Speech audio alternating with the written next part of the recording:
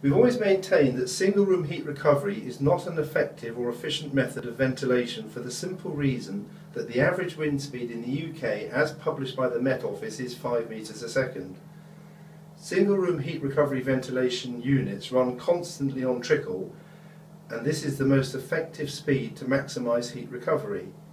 They can be boosted by pull cord or by humidistat but the heat recovery is greatly reduced in this mode.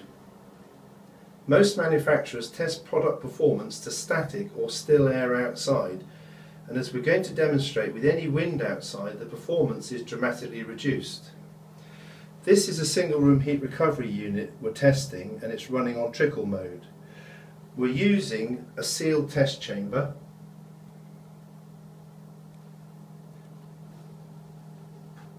and we have four thermistors measuring the airflow temperature inside and outside the building. The arrows indicate the direction of airflow and the two readings on top are measuring the extract air temperature. Number one is the extract airflow inside and number two is the extract air outside and then the two readings on the bottom are measuring the return air temperature Number three is the airflow inside and number four is the airflow outside. Both airflows pass through a recuperator in the unit. The unit is running on trickle with static air outside and is performing satisfactorily in terms of heat recovery. This is the extract inlet, here and here and underneath is the return air. So this is the extracting air, this is the return air. To demonstrate what happens if there is wind outside, we're putting strips of paper over the air extract units like this.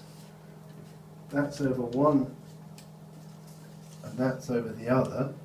So we've effectively covered both the unit, both the air extract inlets and as you can see it is extracting, it's holding the paper on perfectly well. Now if we introduce an external wind speed of three, only 3 meters a second which we're now doing this is a light breeze, it's not a lot of wind and the extract air is being stopped which can be seen by the strips of paper starting to lift. If we further increase the wind speed to 4 metres a second, which is still only a breeze, the extract airflow is reversed and air is being blown back in, which again is demonstrated by the bits of paper.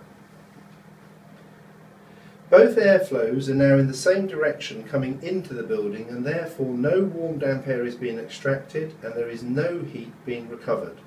Furthermore, it is now bringing in colder air and reducing the temperature inside.